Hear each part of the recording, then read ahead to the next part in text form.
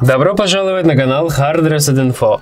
Сейчас я вам покажу, как на телефоне Samsung S4 можно скрыть альбом. Заходим на в меню, потом нажимаем «Галерея». Как видите, у меня есть отдельный альбом, в котором есть одна фотография. Что мы делаем? Нажимаем «Настройки».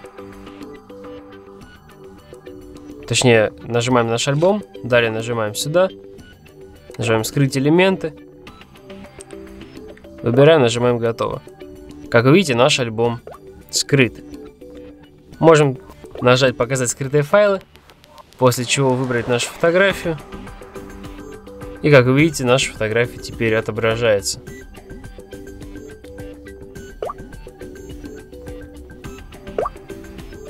После чего также можем сделать ее снова видимой.